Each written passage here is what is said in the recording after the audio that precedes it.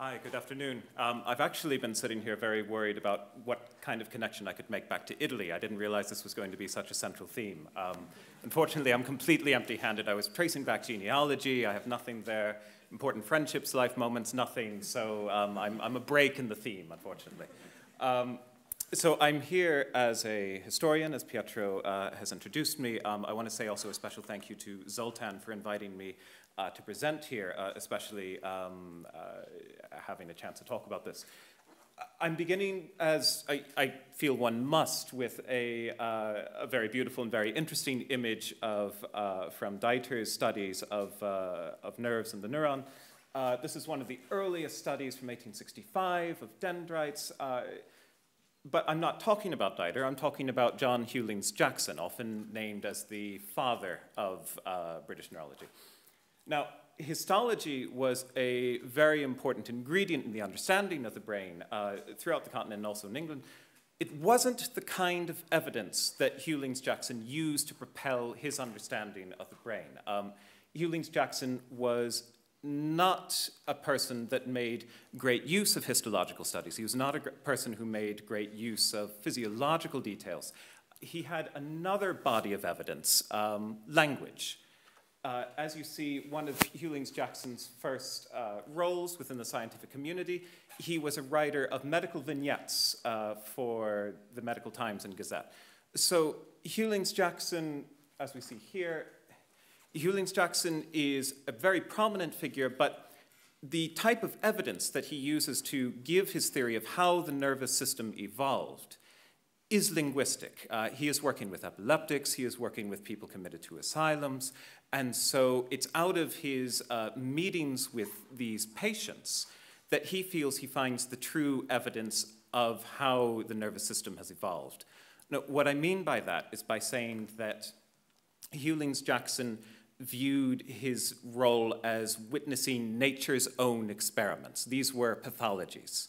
So for Hughlings Jackson, an understanding of the nervous system could certainly be enlarged by histology or by other things, but there was also a lot to learn just by seeing what goes wrong uh, when there is a lesion in the brain or when there is a mental pathology, and how do those instances relate back to our understanding.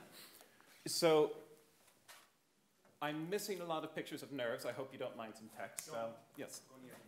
Oh, only on the microphone. Sorry. Okay, I'm rooted here. I might move this so I can have a little station to kind of work from. So. Uh, Hughlings Jackson is here. As you can see, standard Victorian beard. He's not minding under the ear, that's all right. Um, if you're not familiar with him, I have some quick bullet points. He's an assistant to Brown-Séquard in 1862. Uh, he's very interested in the work of Herbert Spencer and Broca. He's beginning to tackle those in his writings in 1864. He gives a number of extremely prominent lectures. He gives the Goulstonian lecture in 1869. Um, anyone here who uh, knows the journal Brain, as I'm sure many do, this is founded uh, with Ferrier and Crichton Browne in 1878. Uh, Hughlings Jackson is an integral figure within, uh, within British science. Now, that is his reputation, but um, the current readership of Jackson uh, was varied, and sometimes we underappreciate, uh, we, we don't fully appreciate uh, how Jackson was being read and what people were taking away from his work. Now, as I was saying, the principal idea behind Jackson was that he wanted to use an evolutionary framework to explain what mental illnesses were and what was happening to the brain during, uh, during the onset of a pathology. But he was working within a much wider philosophical framework, and occasionally people missed the point, like this, this reviewer for the Glasgow Herald, uh, who tells us that Dr. Jackson thinks evolution supplies us with a scientific measure which determines, according to intellectual and emotional differences between children and adults, uh, and importantly, and between the different races of men. Considering the most civilized races have the latest acquired faculties, he looks to them for an answer to this question. What are the latest acquired faculties? Now, when I first read this, uh, this is from 1889, I thought that's so unfair. Here, a journalist, a science journalist for the Glasgow Herald, has misunderstood Jackson's mission. He is not interested in this comparison of uh, mental faculties between races. Jackson is working on the, uh, providing a evolutionary framework for mental illnesses. But then I thought, well, Jackson is using language. Um, language is the most important um, element in his, his approach. So what is Jackson's view on language? Um, certainly the relationship between the evolution of language and the evolution of the nervous system is one of the hottest topics of the 1870s and 1880s. Um, I have some quotes for you here. So there were lots of different views that Jackson might have held. Um, this is the important philologist uh, A.H. Sayce, he, a uh, friend of Muller, established here in Oxford. Sayce is a wonderful representative of people that thought there is no uh, important relationship between uh, the evolution of the brain and the evolution of language. So he tells us very prominently, science implies language. Race or uh, the neurological underpinnings of race do not. That's a line that was you know, very popular and many people backed it. Um, at the same time, you have an idea here in The Descent of Man that uh, tells us that the relation between the continued use of language and the development of the brain has no doubt been far more important than the relationship of uh, strengthening of voice muscles and uh, uh linguistic uh, underpinnings of, of language within the nervous system. So here in 1871 in Darwin, you're seeing something different from Sayce's position. Darwin is advocating an idea that there is an important link between the evolution of language, spoken word, and the evolution of the, uh, the neurological correlates of speech. These are important. We can learn something from looking at this. Um, look at George Romanes, the, uh, the literary executor of Darwin, as late as 1891. Now, Romanes is advocating that um, the warp and woof, he's, he's, you know, it's 1891, he's very poetic, has some poems, they don't, aren't very good. So the warp and woof of the thousand dialects of every pattern, which are now spread over the globe, ought to be proof of mental evolution across races. So Jackson is using language as the, the center of evidence for his discussion of, the, of uh, mental pathologies. He's very invested in an understanding of what the relationship between language and the evolution of the nervous system is.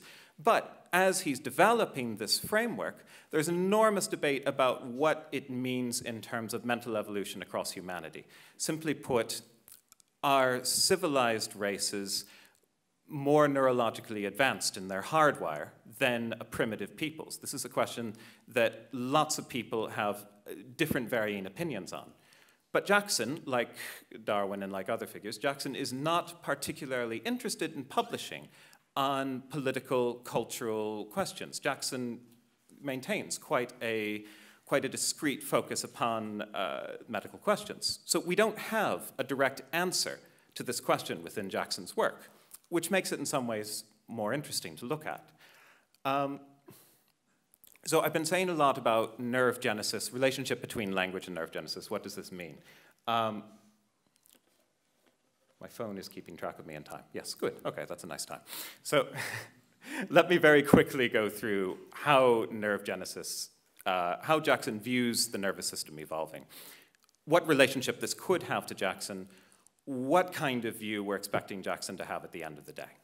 So the first idea that you need to have is that habitual behaviors on the part of the organism involve replicating patterns of communication in the nervous system. That's pretty simple, yeah? You do the same thing over and over and over. It's the job of the nervous system to retrace the, the neurological correlate of that activity. Fine, good. Um, but the principle of use inheritance is what gives it its hereditary kick, right? That's what makes the difference between what you as an organism are doing and what progeny, what your offspring are going to be doing. So strengthened nervous connections can be transmitted to offspring, right? That's the idea of use inheritance. We, we haven't ruled out um, what are called Lamarckian forms of inheritance now, and Hughlings-Jackson uses the idea of use inheritance as the, the founding principle of how he thinks the mind has evolved. Um, so we get this idea that over time, um, repeated actions are strengthening connections in the nervous system, and it's being handed down. Now, people that advocated this theory of the evolution of the nervous system had a problem, because lots of critics said, wait a minute, wait a minute. I pick up a habit, or I learn a poem, and that establishes nervous connections. My infant child is not going to be born with that poem memorized in its head. What are you talking about? So they had to scale it back, and to avoid that criticism, Hughlings Jackson was saying, okay, I'm not talking about the actual nervous connections being uh, repeated outside of instinct, but for most things, if I'm talking, I'm talking about handing down anatomical possibilities. That's a very tricky term in Jackson's philosophy, but we're going to investigate in a bit later. That's the basic structure of how Jackson thinks that uh, the nervous system evolves. But there are two points that could follow from it and that Jackson could uphold. So the fourth uh, is thinking, insofar as it employs language, is an activity that fulfills number one. So therefore, intellectual activity must, must affect the anatomical possibilities of future generations, right? Uh, a civilization that has been reading and doing mathematics for thousands of years is going to have more highly advanced anatomical possibilities than a race that simply has not been doing these things. And fifth, um, a far more controversial premise, uh, human languages are evidence of racial variation in mental evolution, right? So this is a idea which had some uh, grip in the late 19th century that when we uh, do comparative philology, when we compare languages, we will find evidence that uh, the, not only are the languages inferior to the languages of civilized countries, but that shows us underlying neurological inferiority. So my question is, we already know Jackson is on board with the content of one to three. Does he endorse four? Does he even go so far at any stage to, to endorse five? So that's, that's my question for Jackson. Um, yeah, we don't really have time for those. We'll skip on. So to give Jackson his credit, um, Jackson very on gives us a very strong indication that um, he does not think that five is on the platter. He tells us here uh, in 1868, I take the following propositions to be granted. I'm not aware that anyone denies them, and indeed some people did, but that's okay. Um, we are not born able to speak at all, but we are born with anatomical possibilities, which can be trained in acquirement of any language. Okay. So that tells us something about how Hughlings Jackson views anatomical possibilities, right? All of humanity is on a level. Everybody can speak English. Everybody can learn English. But there's a trick to anatomical possibilities that comes out in his later work. So Jackson, of course, wanted to debate the question of hereditary mental illness. Um, can you be born with a mind that is well, is insane? Can you be born with a mind that is already ill? and Jackson tells us, well, no. I'm on the side that says you cannot be born uh, with a tendency to insanity in the sense that you inherit a tendency disease of any part of the brain. But Jackson thinks that what is going on in terms of hereditary mental illness is that you're inheriting a brain that is smaller in the anatomical. uh, anatomical uh, possibility sense that it has fewer functional elements in the highest ranges of the highest cerebral centers. You might get a brain which will give out more easily under unfavorable influences than the brain of the average man. So Jackson is coming out and telling us, no, all of humanity is on a level in terms of its anatomic po anatomical possibilities in relation to language. But anatomical possibilities are playing different roles in Jackson's framework. So you see through uh, use and disuse, uh, if you have a line of alcoholics or if you have a line of epileptics, Jackson does anticipate that there will be a, a, a transmission, an inheritance of a smaller threshold of anatomical possibility.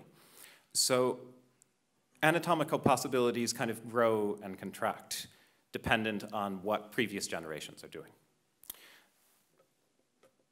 What do I have?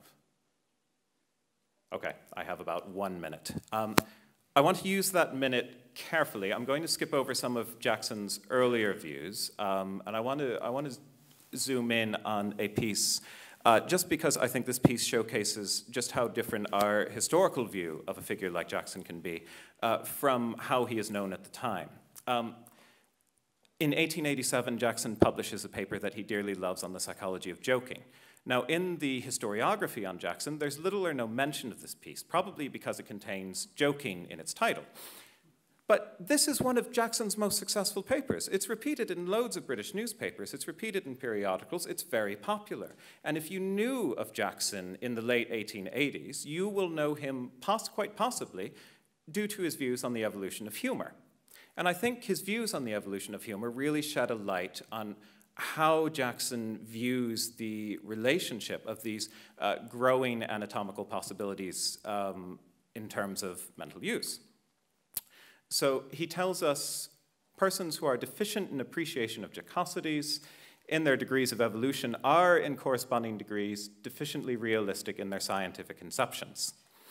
So there's definitely a sense there that Jackson views a level, a hierarchy of, uh, of these anatomical possibilities that extends above command of language, where a, a certain repeated uh, intellectual internal play is having neurological effects, right? So the contrast would be for, uh, for Reverend A.H. Sayce, where humor is obviously a cultural art, right? It doesn't have a uh, expected neurological underpinning for a race. If one race is very humorous and one race is just completely dead. Um, Sayce isn't expecting anything neurologically definite in those differences. Jackson, however, does view uh, the presence or absence of humor as indicative of the presence or absence of a, a greater sophistication in the upper hierarchies of, of the nervous system. Um, he tells us, because obviously the question there is, well, we might be speaking on a person to person basis. Does Jackson actually mean for us to interpret that this can speak for a race? Now, again, I want to issue a caveat. I don't think Jackson was particularly concerned with that question. It wasn't one that he placed great evidence in. I don't, I don't want to tar him. But um, he does tell us within this very popular paper practical jokes belong to the childhood of nations and the boyhood of man. That's a very common uh, uh, comparison between the idea of the mental evolution in a human child and the mental evolution of a race.